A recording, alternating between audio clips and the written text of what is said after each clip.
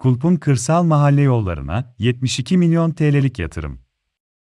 Kulp Kaymakamı ve Belediye Başkan Vekili Mustafa Gözlet'in girişimleri sonucunda, Diyarbakır Büyükşehir Belediyesi'nce 2022-2023 yol yapım programı kapsamında projelendirilip ihale edilen Kulp merkez ve kırsal mahallelere ait yollarda yol yapım ve bakım çalışmalarına başlandı.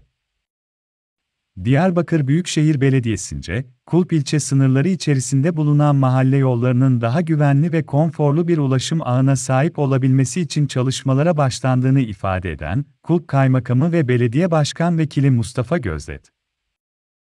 Diyarbakır Büyükşehir Belediyesi'nce 72 milyon TL'ye ihale edilen, kulp sınırları dahilinde bulunan Hevıdan Grup Yolu, Akdoruk, Çağlayan, Özbek, Ağaçlı, Kaynak, Ağaçlı, Buduka, Karpuzlu, Narlıca, Dolun, İslamköy, Başbu, Kayahan, Karaorman, Yayık, Yakıt, Ayhan, Tepecik, Salkımlı, Uzunova, Akçasır, Aygün Grup Yolu, Saltuk, Koçkar, Kayacık.